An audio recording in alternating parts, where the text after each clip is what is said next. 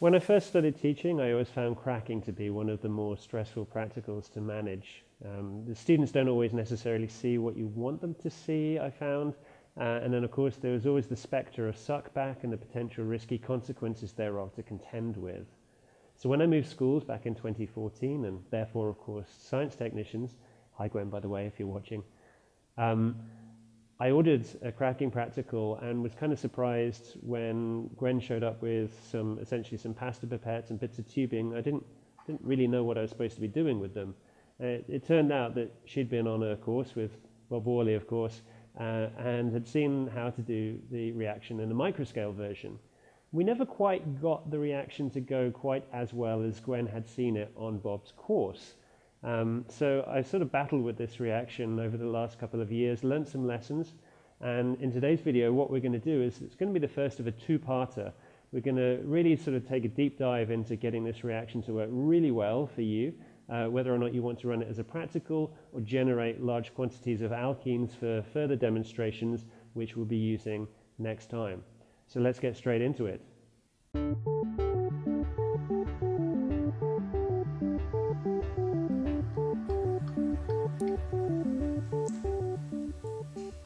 So CLEAPSS members should be consulting PP061 for this practical. Essentially what it describes is turning one of these Pasteur pipettes into a little test tube by sealing off the end and then um, you can load this up with your substrate, bit of mineral wool, aluminium oxide and then the gases that you produce can be bubbled through a delivery tube directly into some bromine water or some potassium permanganate for example and you can watch it decolorize. What I'm going to be showing you today is actually a slightly modified version for collecting larger quantities of gases for demonstration purposes and we're going to be using one of those gases in something really cool that's coming up in the next video. So here's the first tip. If you try to seal the pipette as is, you'll end up with a very narrow, weak seal. On top of this, the paraffin won't be able to get into the end of the pipette. So before you seal the pipette, simply snap a little piece off the end and you'll get a really nice finish. Next, load in about half a centimeter cubed of paraffin. Tip number two here. This caused me no end of misery over the last few years. In different places, paraffin might be called different things. I've wasted hours and hours trying and failing to get good results out of lighter paraffin, sometimes sold as kerosene. You want to be using heavy paraffin, sometimes called medicinal paraffin. It should be reasonably viscous. Now, a little bit of mineral wool can be inserted to absorb the paraffin. If you have it, a micro spatula might be handy for this, but I always just snip a wooden splint down to size. If you don't happen to have mineral wool, glass wool really doesn't do the trick. It's worth getting in some proper mineral wool, you won't regret it. Onto the wool you can load some aluminium oxide, one to two micro spatulas is plenty.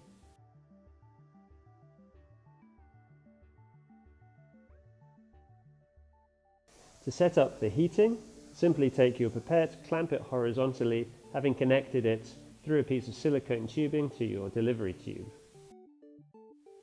Students can run the product gases straight through bromine water to watch it decolorize, but if you want to collect larger quantities for demonstration purposes, a setup more like this one is handy. I've added a bit of food coloring to the water to help it show up on camera.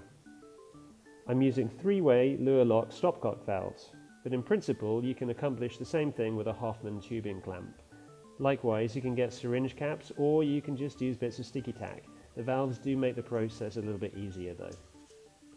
An ethanol spirit burner gives a flame hot enough to crack the paraffin but not hot enough to melt the pipette. Here's another tip from Bob. For cracking paraffin, position your ethanol spirit burner right at the intersection between the catalyst and the mineral wool. An almost identical setup can be used to dehydrate propan-2-ol to give propene, which we'll need in the next video, but for the propan-2-ol, the point of heating should be a little bit further from the substrate. You will see the catalyst darken as carbon begins to deposit on the surface at the start of the reaction. Of course, you'll want to discard the first bits of expanded air coming off before filling your syringes with the product gas as you see fit.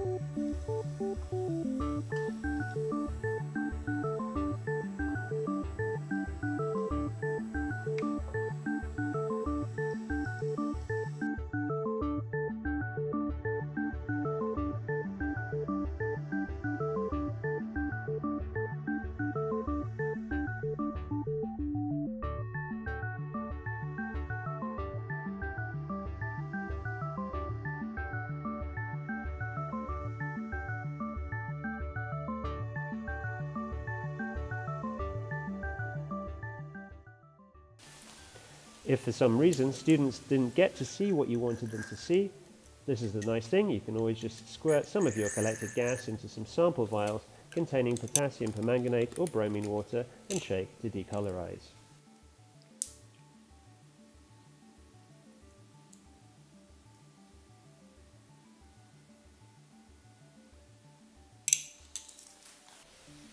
The product gas will burn of course with a smoky flame.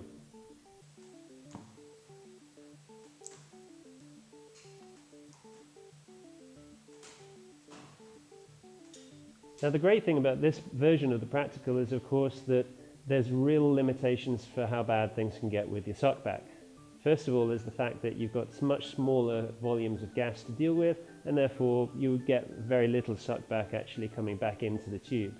And even if you do, there aren't any nasty consequences because the tube cools down so quickly that even if water does get back in there, you tend not to actually see anything too exciting happening. The other cool thing about the fact that you are using a smaller scale apparatus is that it cools down really quickly, allowing for tidy up to be much more efficient, leaving you more meaningful time for discussion at the end of the practical. So that's it for cracking.